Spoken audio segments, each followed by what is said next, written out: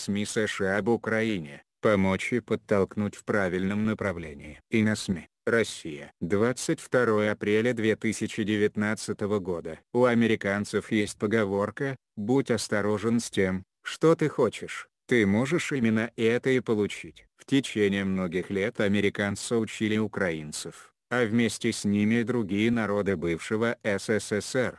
Советский Союз был плохой, навыки работы в советских условиях, ничего не стоят, нужно смелее расставаться со старыми кадрами. Будущее, занятие гощенной лишними знаниями молодежью, хайпом и драйвом, ну, и так далее, и тому подобная точка пока речь шла о победе над красными директорами и остаточными советскими интернационалистами, типа Аскара Акаева, сомнений в полезности хайпа и драйва на Западе не возникало. Но вот когда вполне себе хайпово-драйвовый комик победил на Украине украинского националиста Петра Порошенко, имеющего опыт развязывания войны на востоке страны. Газеты в Америке вдруг заностальгировали по опыту. Нью-Йорк Таймс и Вашингтон-Пост как по команде заскучали по зрелому возрасту и мудрым сединам Петра Порошенко, упрекая украинского избирателя в безрассудной любви к мятежной юности.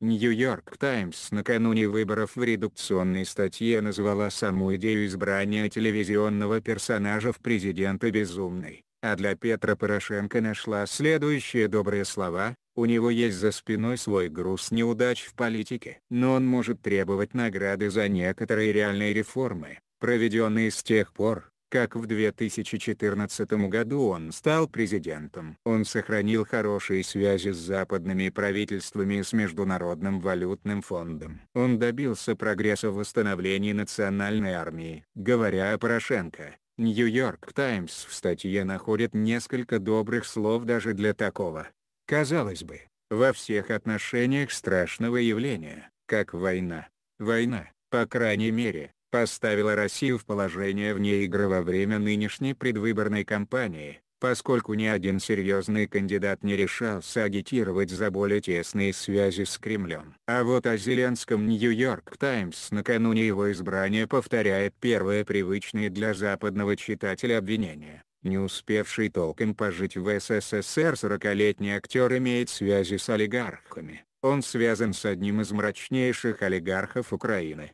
Игорем Коломойским. Телеканал Коломойского показывает шоу господина Зеленского, а также активно продвигал его кандидатуру. А господин Коломойский, бывший когда-то союзником Порошенко, теперь стоит к нему в самой резкой оппозиции. Тему нехороших связей властного комика после победы Зеленского подхватила журнал Forbes. Но это издание пошло дальше коллег из Нью-Йорк Таймс, намекнув даже на связь Зеленского с русскими деньгами, судя по слухам, помимо Коломойского, Окружение смещенного президента Виктора Януковича также внесло свой вклад в его кампанию, а может быть, задействованы были российские деньги и ресурсы. И благодаря ним Зеленский провел очень эффективную предвыборную кампанию. Его любили массы, хотя он не занимал твердой позиции или выбирал какую-то из политических платформ. Вместо этого он самим избирателям давал додумать за него какова будет его позиция по тому или иному вопросу. Эту способность Зеленского обходить молчанием острые темы отмечают многие американские издания.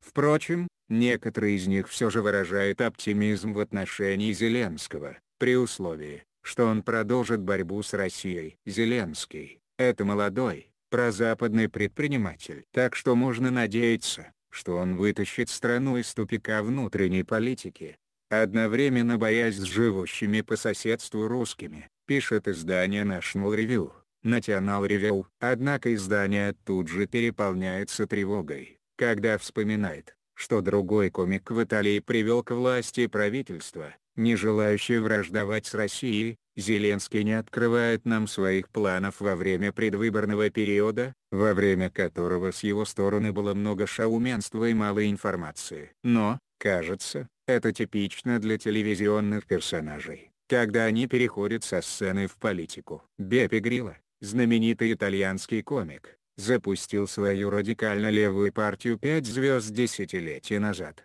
когда разозлился на коррумпированные элиты собственной страны. А итальянцы в конце концов приняли его не в шутку. а всерьез. И хотя он отошел от лидерства в своей партии, его соратники привели партию в прошлом году к коалиции с ультраправой популистской политической силой. Уолл-стрит Journal старается успокоить страсти, обещая украинцам и собственным читателям, что Зеленского подтолкнут в правильном направлении. Украинцам есть, чем гордиться. Юная демократия провела прекрасно организованные выборы без больших нарушений. Избиратели выбрали еврейского главу государства, причем происхождение кандидата не было вопросом, что свидетельствует о плюрализме Украины. А господин Порошенко признал принял волю избирателей. И все же тон этой кампании свидетельствовал о досадном разделении нации. Мистер Порошенко сказал, что победа Зеленского превратит Украину в колонию России. И почему-то,